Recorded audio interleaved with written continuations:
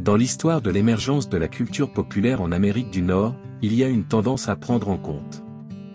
Les célébrités, acteurs, chanteurs, stars du sport, etc., deviennent si célèbres et adorées par leurs fans qu'elles sont considérées comme des idoles aux yeux de beaucoup, et même vénérées comme des dieux. Vous l'avez deviné, il s'agit de Beyoncé, la célèbre chanteuse américaine qui a vendu des millions d'albums et remporté des dizaines de prix. Mais saviez-vous qu'il existe une religion qui l'adore comme une divinité? Et qu'une adepte de cette religion s'est même sacrifiée pour elle? C'est ce que nous allons découvrir ensemble dans cette vidéo. Sur ce, passons au générique.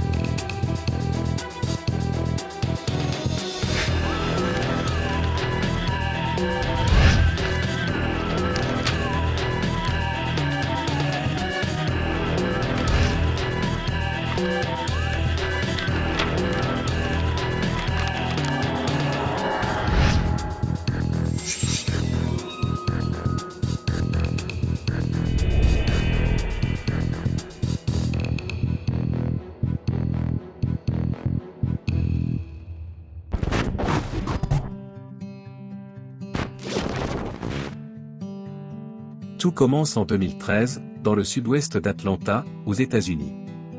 Un groupe de 12 amis se réunit tous les dimanches dans un garage pour chanter les chansons de Beyoncé.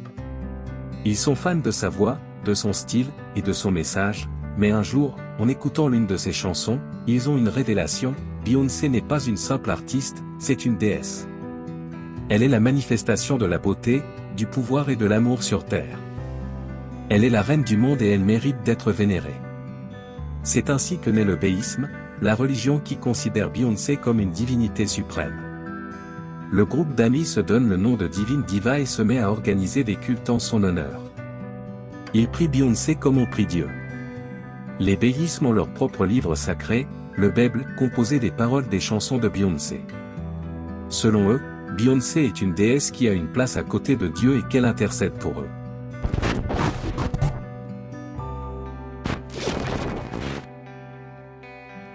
Leur foi est si forte qu'ils décident en été 2013 de créer leur propre église, la National Church of Bay. Ils s'enregistrent comme une organisation à but non lucratif et achètent un bâtiment qui devient leur premier temple. La première ministre diva de l'église est Pauline John Andrew, celle qui a eu la vision initiale. Elle se charge de recruter d'autres adeptes et de diffuser le message du béisme sur les réseaux sociaux. L'église nationale de Bay connaît un succès fulgurant. En quelques mois, elle passe de 12 à 203 membres officiels. Cela attire l'attention des médias et du public, mais aussi des critiques et des moqueries. Certains accusent le béisme d'être une secte dangereuse et manipulatrice, d'autres pensent que c'est une blague ou une parodie.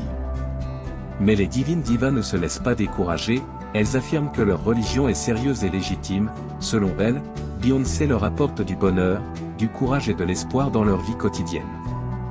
Selon la ministre Diva Andrew, il y aurait plus de 58 millions d'adorateurs du béisme dans le monde.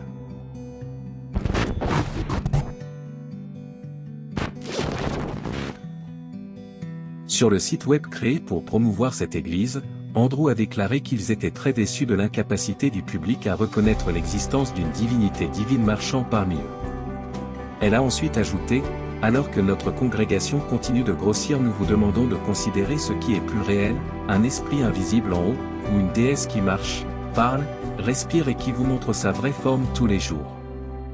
Selon cette déclaration, elle nous dit qu'il est mieux de croire en Beyoncé, une divinité qui est visible que de croire en Dieu qui est lui invisible et dont on ne peut prouver l'existence. Les béistes se réunissent chaque dimanche pour chanter les chansons de Beyoncé et prêcher leur livre saint, le Bible. Si vous souhaitez rejoindre l'Église nationale de Bay, sachez que 100% de la congrégation est composée de femmes, mais les hommes peuvent rejoindre l'Église à condition de sacrifier leur virilité. Tous les hommes doivent passer par une cérémonie symbolique connue sous le nom de bican. À la fin de la cérémonie, le membre obtient alors le statut de pucé. Selon la ministre Diva Andrew, il incombe au monde entier de s'incliner au pied de la déesse Beyoncé et de reconnaître qu'elle est la diva de toutes les divas.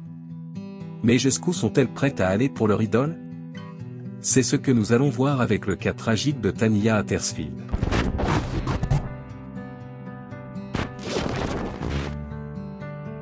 Tania Attersfield était une jeune femme âgée de 23 ans qui vivait à New York, et était étudiante au College Park, en Géorgie.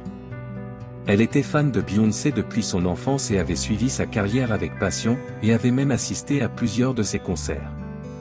Quand elle a appris l'existence du béisme, elle n'a pas hésité à rejoindre l'église nationale de Bay.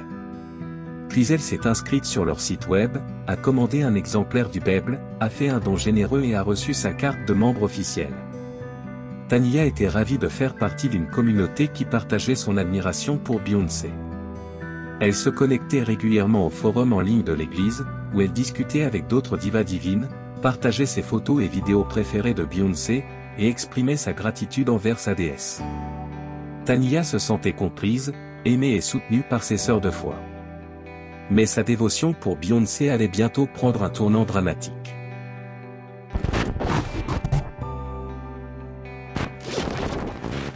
Le 13 mai 2014, Tania Attersfield a été retrouvée morte dans le sous-sol de la maison familiale, elle s'était auto-infligé des blessures à la poitrine. Son corps gisait dans, dans une mare de sang, entourée de centaines de bougies et d'une note de suicide fourrée dans la poche de son pantalon, elle était allongée sur les marches d'un sanctuaire fait maison à Beyoncé, comme si elle lui adressait un sacrifice. La police a trouvé la note fourrée dans son pantalon, les détails précis de la note de suicide n'ont pas été divulgués, mais selon la police, elle se serait suicidée en sacrifice à Beyoncé à la demande d'une certaine église. La police a ouvert une enquête sur les circonstances de son décès et a découvert son appartenance au béisme. Ils ont interrogé Pauline John Andrew, la présidente de l'église du béisme, qui a nié toute responsabilité dans le suicide de la jeune fille. Elle a affirmé qu'elle ne faisait que transmettre les messages divins de Beyoncé et qu'elle ignorait les intentions de Tania. L'affaire a scandalisé les médias et l'opinion publique, beaucoup ont condamné le béisme comme une secte dangereuse et criminelle qui exploitait la crédulité et la fragilité de ses adeptes, d'autres ont exprimé leur compassion et leur tristesse pour Tania et sa famille, certains ont même lancé une pétition pour demander la fermeture de l'église nationale de Bay, qui n'a jamais abouti par faute de preuves, et finalement, l'affaire a été abandonnée et aucune accusation n'a été retenue contre. L'église. Vous vous posez sans doute des questions. Mais qu'en est-il de Beyoncé? Quelle est sa réaction face à cette histoire? Est-elle au courant du béisme? Approuve-t-elle cette religion? Ou bien la rejette-t-elle? Eh bien nous allons y venir.